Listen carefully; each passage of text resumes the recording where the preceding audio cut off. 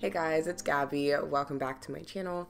For today's video, we're going to be going over the do's and don'ts of how to use liner gel or just regular liner nail polish. So if you don't know what that is, it's basically a smaller bottle of gel or regular nail polish and instead of that wide normal brush, you're going to get a small skinny liner brush. So these are great for more intricate work, details, or just nail art overall.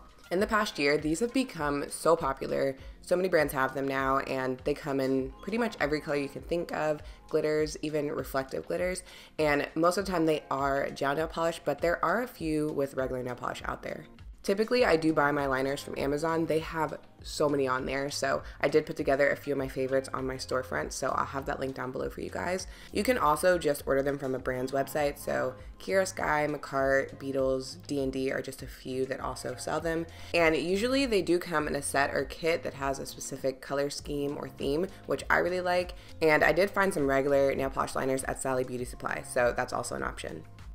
Okay, so let's get into how to actually use these. When you first pull that brush out, you're gonna have a lot of polish on there and it's just more than you need. It's gonna make it more difficult to draw lines and control where the polish is going. So I try to wipe off a majority of that polish from the brush and then also the handle part of the brush because if that has too much polish, it's gonna kind of drip while you're doing your nails and you don't want that. So I just kind of roll it against the edge of the bottle to remove that. You can also just wipe the brush along the side of the bottle like this or do a little spinning motion to remove that excess polish. Something you may notice over time, after all that wiping, the polish may kind of seep toward the bottom and start to ooze out of the lid. So whenever that happens, I'll just use a makeup sponge and rubbing alcohol and wipe the lid off. And then if it's regular nail polish, I'll use nail polish remover. But either way, I would avoid using cotton balls just so you don't have little cotton pieces stuck on the lid. Another thing to look out for, sometimes you may get a loose little bristle that sticks out of the side or at the top of the brush. And this can make a difference when you're trying to do nail art. So I'll just take some scissors and cut it off to make sure everything's even. Finally, we are on the first example. I already wiped off my brush, so it's ready to go. And I'm just drawing random lines on my nails. As you can see, it just it makes it so much easier to do. And I like to kind of cure my nail as I go. And the main reason is because I don't want to risk messing up a line that I already did. So I'll draw one or two lines and then cure my nail underneath my lamp. You don't even have to do a full time. You can just kind of flash cure it for 10 or 15 seconds and then keep doing your nail. And another reason I like to do this is especially when I'm about to cross over line. Again, I just I don't want to mess up what I already did because that's just gonna make me sad. So I mean technically this is optional, but it is something that has really helped me out. Once you are done with your design, you can go ahead and cure that for the full time, finish off with the top coat, and you are done. So let's get into a few things you don't want to do. Here, I just, I pulled the brush out, I didn't wipe it off or anything, and I'm just going for it. This is way too much polish. One, this isn't even gonna cure properly. Two, it's literally a puddle on my nail, dripping off the brush. This is just not going to work. I tried to spread it out and it just make sure you wipe off your brush. But on the other end of that, you don't wanna wipe off your brush to the point where it's dry. So right here, I just wiped off pretty much all of the nail polish to where I can't even draw a line. So unless you're going for a dry brush look, make sure there's still some polish on there shaky hands. I know my hands still get shaky sometimes when I'm trying to draw a line. Here's a tip for you. You can kind of take it and instead of moving the hand that you're drawing with, move the finger that's resting on whatever you're doing your nails on. And that way you can kind of keep it steady and make your finger draw the line for you. I hope that makes sense, but it is something that really helps, especially when you're drawing horizontal lines.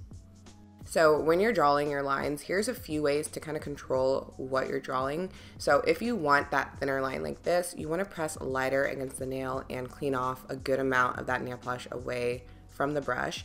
If you want it a little bit thicker, I'll add a little more nail polish and push down a little more. And then if you want it even thicker, I kind of start just drawing lines next to each other to get that bigger shape.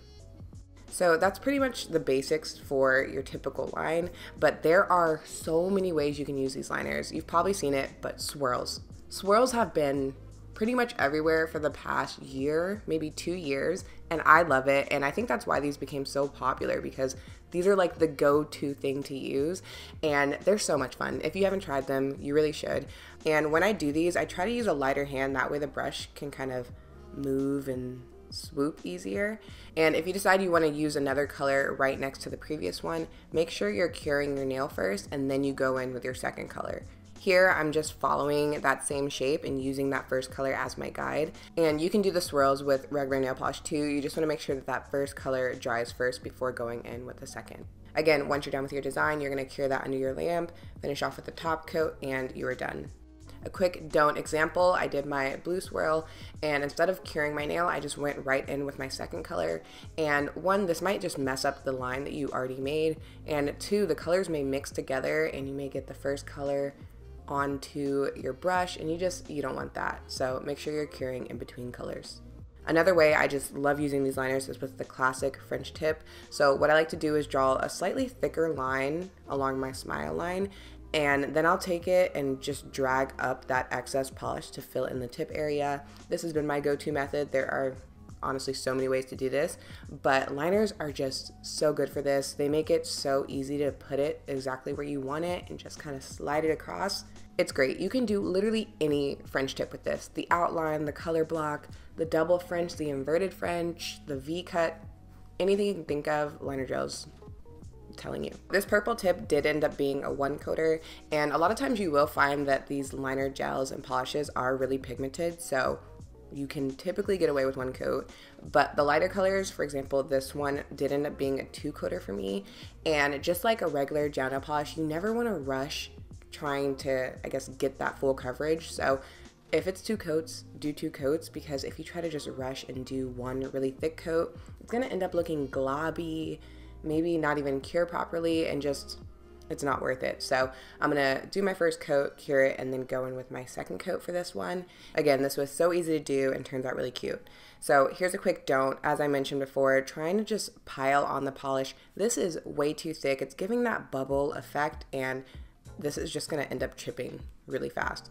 So Take your time, work in thin coats. Liner gels are also good for larger areas too, so if you want to do a half nail or color block look, these can be used. And what I like to do is initially put more nail polish on the brush and then spread it around. And this just helps the process go a little bit faster, so it still ends up being a thin coat, but I can cover the area quicker, which leads to the next way these can be used. And honestly, I don't typically use these for this reason, but you can paint your entire nail using a liner.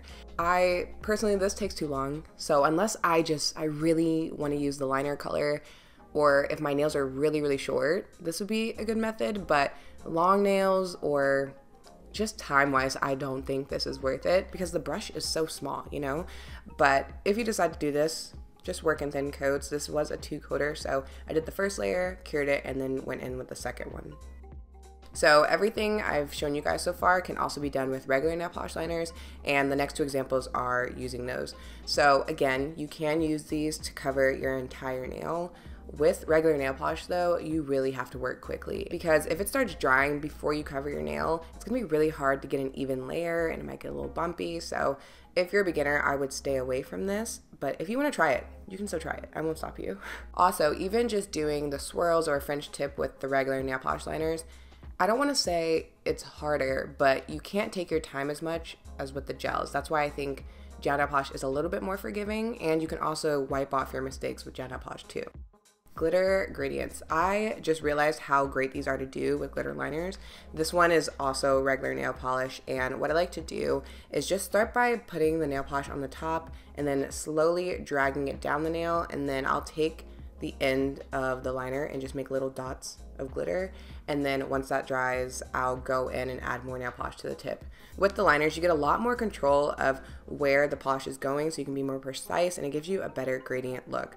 So I would definitely recommend doing these.